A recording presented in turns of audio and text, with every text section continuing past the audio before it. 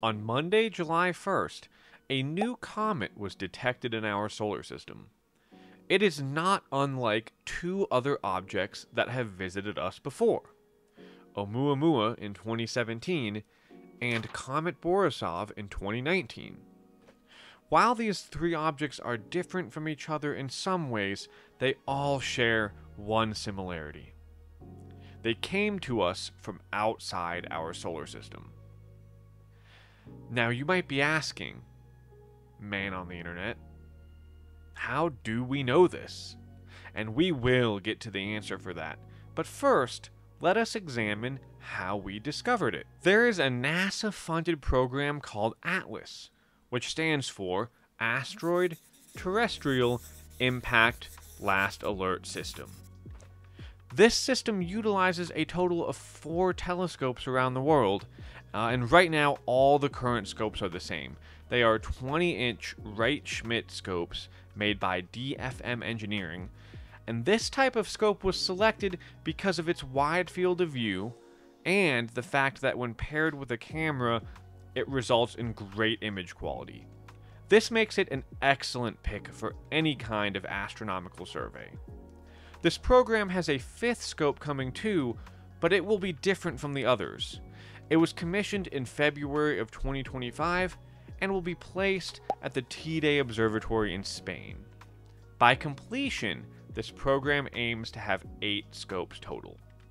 The current telescopes can be found on Haleakala and Mauna Loa, both in Hawaii, Sutherland Observatory in South Africa, and the El Sauce Observatory in Chile. I'm sure I got some or all of those names wrong. It is this last one that got the initial observations of 3I Atlas.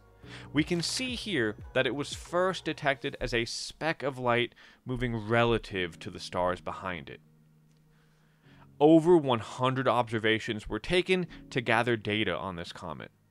This was compared with past data from the other Atlas telescopes and Caltech's Zwicky Transient Facility at the Palomar Observatory in San Diego County. Now, from these data, we learned that the earliest 3I Atlas appeared in our observations was June 14th. And this turned out to be very helpful for figuring out its trajectory. Before we go into the comet's trajectory, let us have a look at different orbital types. And there are four of them circular, elliptical, parabolic, and hyperbolic. Now, when looking at the math, each of these types can be defined as a slice taken out of a cone. Of these four types, two really only show up in math, while the other two can both show up in math and be observed in space. Let's start by examining the two that we don't see in space, starting with the circular orbit.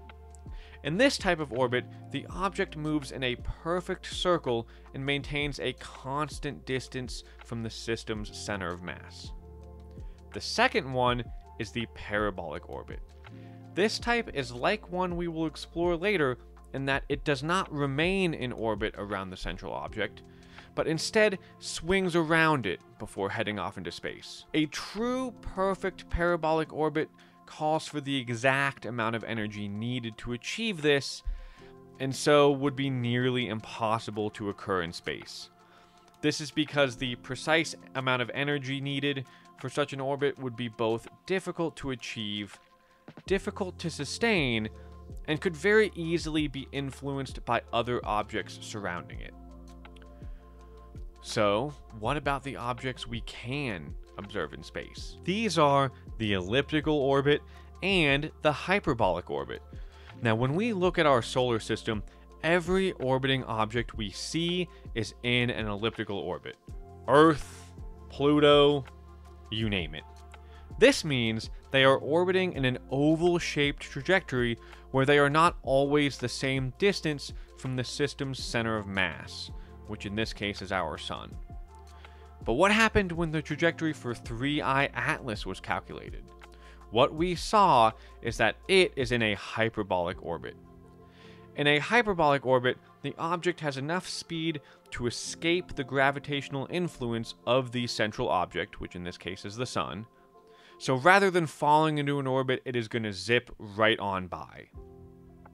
What distinguishes a hyperbolic orbit from a parabolic orbit is that in the first one, the object has more energy than it needs to achieve that flyby, rather than like the perfect amount.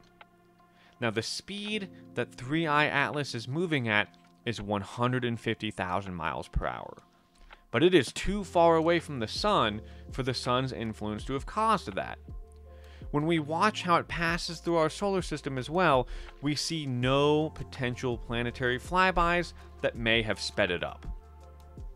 All this pretty much means that it came to us from outside our solar system.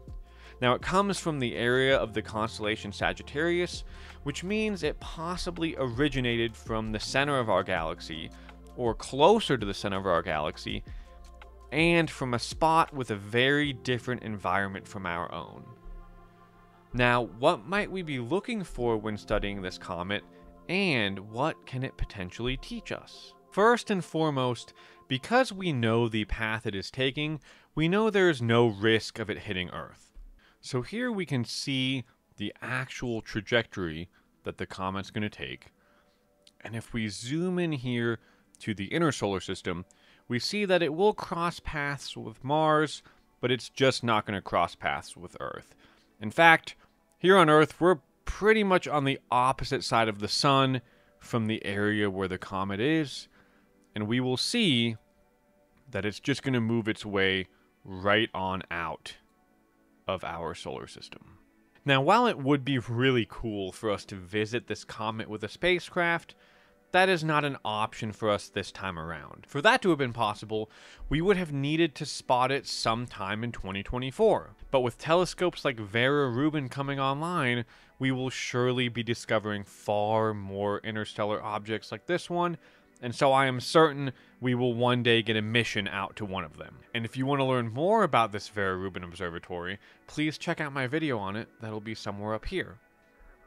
We can still study the comet from a distance though, and we, I mean, we are already doing that. One of the first things we notice from images is that it is active, meaning around its nucleus a coma was seen.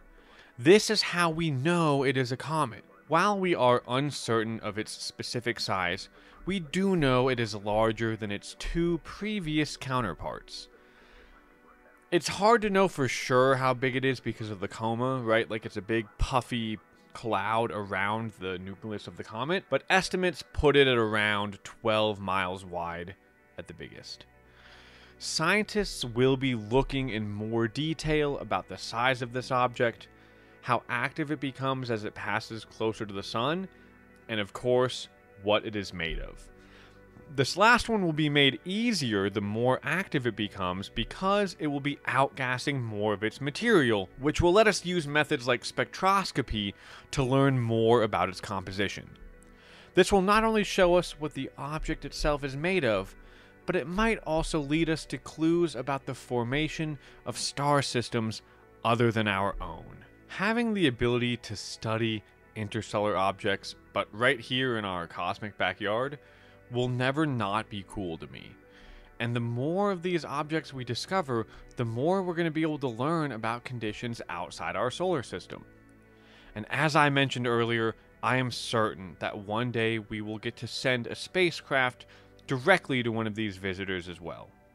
Until then, let us take advantage of the fact that we still have them and that we can learn from them at a distance. If you like this video, please give it a thumbs up and subscribe to my channel. I really do appreciate it. And beyond that, I hope you have learned something and let us all step outside tonight and look towards the stars.